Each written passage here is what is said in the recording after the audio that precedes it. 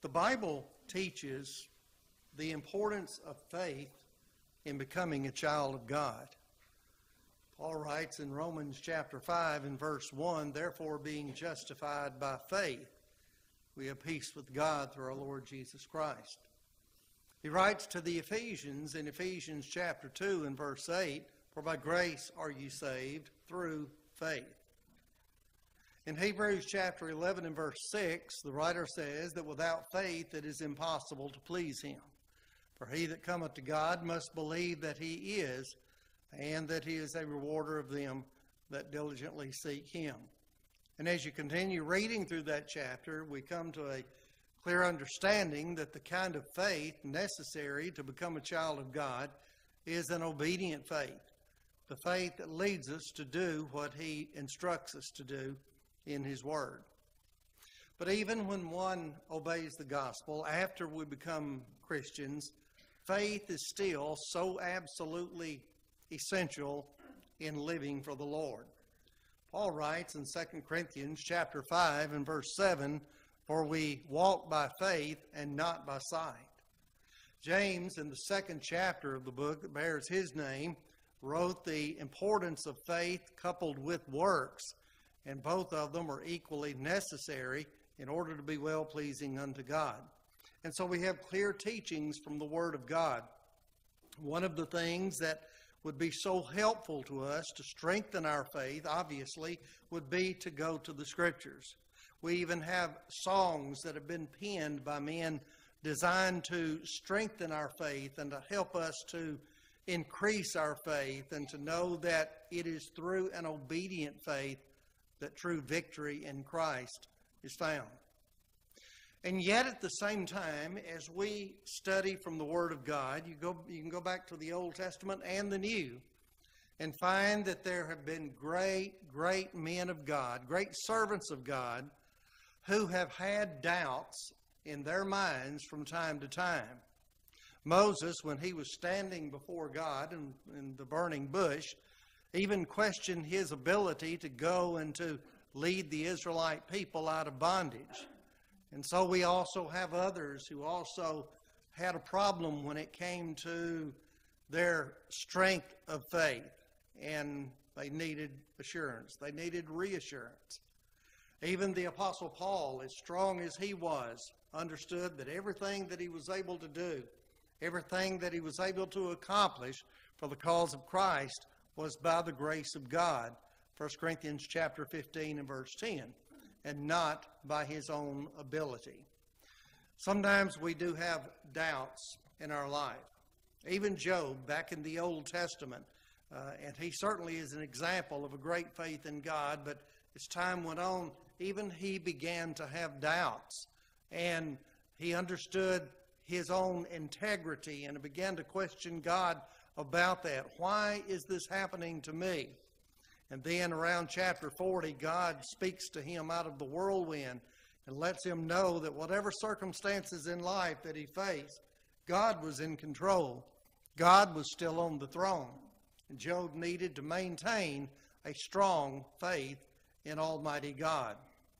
We have an example in the New Testament of one who was a faithful servant of God a great servant of God. And yet, there was one occasion in which he also began to have doubts. I'm speaking of John the Baptizer. John, the forerunner of Christ. He did a great work. He did a great work in preparing the Jewish people for the coming of the Messiah. Even to the point of, on one occasion in John chapter 1, as Jesus was nearby, John pointed to him and said, Behold, the Lamb of God who takes away the sin of the world. Well, as time went on through John's ministry, he preached the gospel of the kingdom to the people.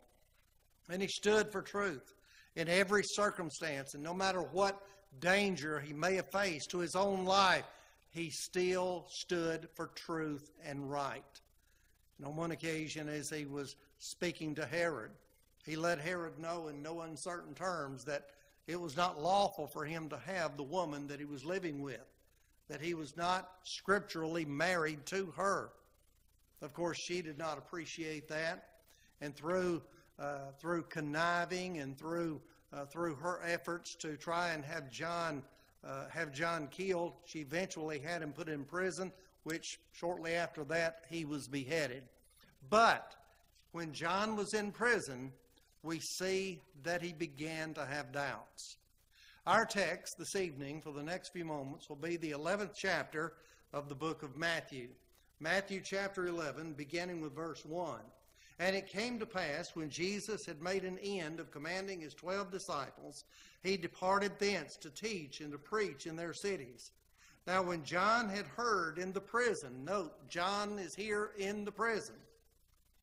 When he heard of the works of Christ, then he began to have some doubts, and he sent his disciples to make an inquiry. I want us to think for the next few moments about some lessons that we learn from this account, and we'll look at it in greater detail. First of all, when you have doubts, do something. When you have doubts, do something. We're going to see in the text that John's doubts had to do with whether or not Jesus was really the Christ. Now, keep in mind, this is the same one who earlier had said, in pointing to Jesus, the Lamb of God who takes away the sins of the world. There's no doubt whatsoever that his faith was strong, and he knew beyond the shadow of any doubt that Jesus was, in fact, the divine Son of the living God. He knew that. He had faith in that fact, and now he's there in prison. His death is going to take place just a short time thereafter. And so at this point, he's in the valley of despair. Is Jesus really the one? Well, the first thing that he did then was he acted. All right, he sent two of his disciples in Matthew 11 and verse 2. When John had heard in the prison the works of Christ, he sent two of his disciples. So you see, he did something when he was facing doubt. He did something. He was not content to allow himself to continue to doubt. He was not content to allow himself to remain in the mental state that he was in at that particular point in time. So in essence what John was what John was thinking was I want to know. I want to know beyond the shadow of a doubt. And so he sent his two disciples. He wanted reassurance. You look at another instance in the earthly ministry of Jesus in Mark chapter 9. There was a man who brought his son to, uh, uh, to Jesus, and his son apparently had reached adult age. And his son was, was possessed with an, uh, with an evil spirit a deaf and dumb spirit. And the man went on to explain to Jesus, Jesus that this spirit would, would throw him to the ground and that his son would foam at the mouth. And the spirit, the evil spirit, would throw him into the fire and into the water and would do everything that he could to destroy his son. Well, when this man then brought his son to Jesus, it's very clear that he had some doubts. We know that from the text. Now, obviously, one of the things that created doubt in his mind was that he had earlier asked the Lord's disciples to cast the unclean spirit out of his son. Now, you read the text, and they tried. They tried to do just that, but they couldn't do it. They couldn't do it. And so the man tells Jesus about this. And the man goes on to say, If you can, if you will, if you can, you can cast him out. You can, you can cleanse him, as it were. And Jesus goes on to tell him that all things are possible to him that believeth. And this is what the man said at this time. He said, Lord, I believe. Help thou my unbelief. Now, there's no contradiction here. When he said, Lord, I believe, he had a degree of faith. He didn't have the sufficient faith that he needed. He had not reached the degree of faith that he needed to have, but he did have some faith. So he said, Lord, I believe. And then his request to Jesus was, Help my unbelief. And Jesus fulfilled his request. Jesus commanded the unclean spirit to depart out of his son and to never enter into him again. And of course, obviously, the evil spirit was obliged to obey the Son of God. And he left the young man at that particular point. So there was a man who had some doubt, and the Lord erased that doubt. There was another occasion in Luke chapter 24 where Jesus erased the doubts of some of his disciples. In Luke 24, starting with about verse 18, some of the women that had been to the tomb of Christ were, were walking along and they met Jesus, but they didn't know who he was. And so Jesus asked them about what they were talking about. And so one of the women, Cleopas, asked the Lord, Have you not heard what has been taking place in Jerusalem? Have you not heard? And Jesus said, What? What things are taking place? And then she replied and she said, About Jesus of Nazareth, a man mighty in word and deed before God.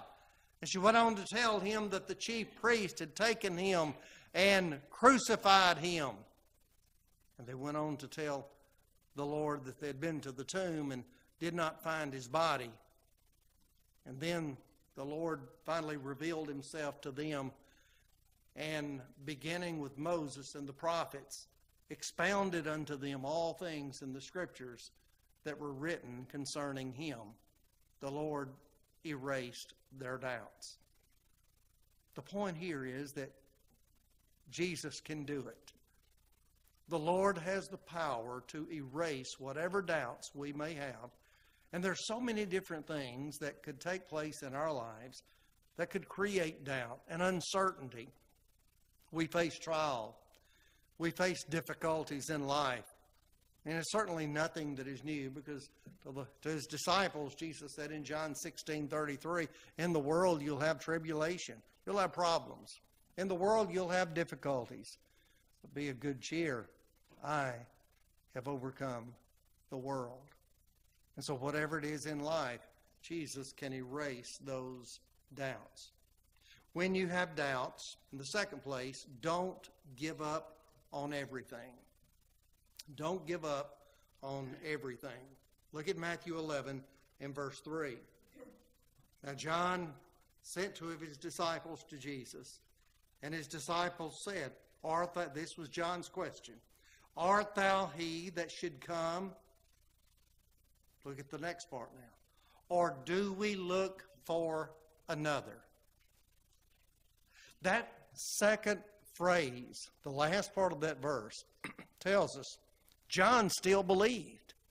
He still had faith that the Messiah, word meaning anointed, God's anointed, was going to come. He still had faith that the Old Testament scriptures were, in fact, going to be fulfilled. So even though he had doubt at this particular point with everything that was happening to him, and again, very shortly, he was going to uh, uh, he himself was going to die. He was going to be beheaded. He didn't give up on everything. He believed in the Old Testament scriptures. He did not abandon his faith. And sometimes, again, we have doubts. But we need to strive to maintain the faith that we have in God. We're assured of the power of prayer and the Word of God. Paul says, Be anxious for nothing, but, in, but by prayer and supplication with thanksgiving, let your request be made known unto God. Philippians chapter 4 and verse 6. James writes in James chapter 5 and verse 16, The effectual, fervent prayer of a righteous man availeth much. It is of great benefit. Benefit to whom? Benefit to the righteous man the one who goes to God in prayer, believing that God is going to answer that prayer. That's reassuring and it's encouraging. So, even where John was concerned at this particular point, when doubt was plaguing his mind, he didn't give up on everything. But then finally, when you have doubts, be content with the evidence. When you have doubts, be content with the evidence. Look at the text again, verses 4 and 5. Jesus answered and said unto them, Go and show John again those things which ye do see and hear, which ye do hear and see.